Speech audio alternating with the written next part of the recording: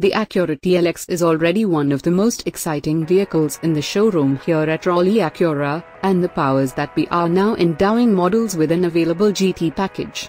This top-of-the-line sports sedan will soon be available nationwide with the new package, with both 2016 and 2017 TLX models covered, and, if you find yourself out west, you can check it out at Acura's booth in the 2016 SEMA show in Las Vegas.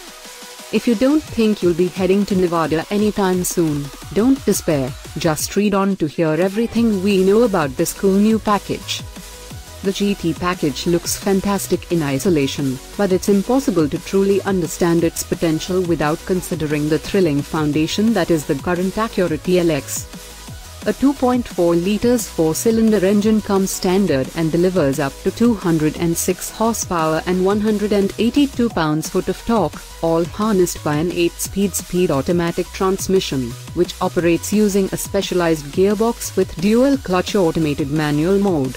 For an even more potent drive, you can always electrify passengers by opting for the 290 horsepower and 267 pounds-foot of torque offered by the 3.5 liters V6 engine, which is paired up to a sophisticated 9-speed automatic transmission.